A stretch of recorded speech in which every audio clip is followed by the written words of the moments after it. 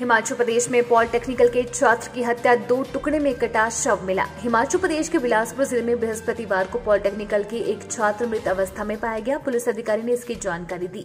जिला पुलिस अधीक्षक S R Rana ने बताया कि अंकित कुमार नामक छात्र का शव दो भाग में कटा हुआ था और उसके शरीर के हिस्सों को दो बोरे में भरकर झंडुता सब डिविजन में अलग अलग स्थानों पर फेंका गया था। उन्होंने बताया कि झंडुता के विधायक जीत राम कटवाल ने कुमार समूह गाँव का निवासी था और वह तेरह जुलाई से लापता था।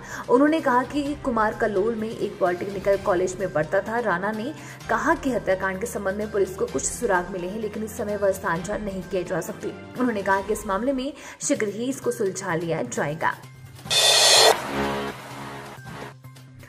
फोरलेन में ज़मीन मुआवजे को मिली राशि में एक करोड़ का गड़बड़, झाला। फोरलेन निर्माण में जमीनों के अधिग्रहण पर दिए जाने वाले मुआवजे के लिए केंद्र से मिली बाईस करोड़ रुपए में एक करोड़ रुपए की राशि धनराशि का गड़बड़, झाला हुआ है। ये गड़बड़ झाला तीन साल में वित्त वर्ष दो हज़ार चौदह, पंद्रह पंद्रह, सोलह और सोलह सत्रह के बीच घटित हुआ था, जो अब सामने आए हैं। तत्कालीन हिमाचल प्रदेश सरकार ने बाईस करोड़ रुपए में से प्रशासनिक व्यय पचपन करोड़ रुपए के बजाय एक सौ अट्ठानवे करोड़ रुपए कर दिया।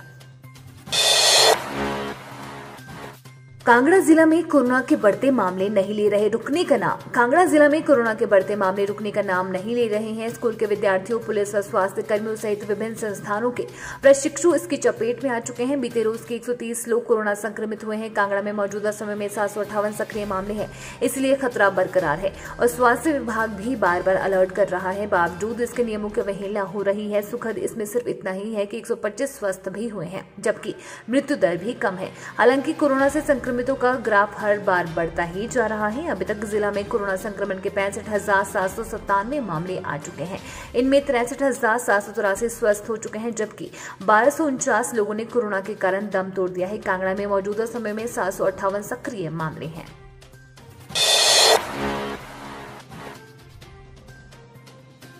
मनाली, उदयपुर, पांगी, मार्ग बाढ़ आने से ठप। आज भी कई जिलों में बारिश के असर प्रदेश में जारी बारिश के बीच मनाली, उदयपुर, पांगी, मार्ग बाढ़ आने से ठप हो गया है। वीरवार शाम तक सूबे की उन्नीस अन्य सड़कों पर भी वाहनों की आवाजाही बंद रही। उदयपुर के नज़दीक थीरोट नाले में वीरवार शाम को बाढ़ आने से क्षेत्र में हड़कंप मच गया। हालाँकि इस घटना में जान माल का कोई नुकसान नहीं हुआ है। बीते रविवार को किन्नौर में बादल फटने से भी काफ़ी नुकसान हुआ है।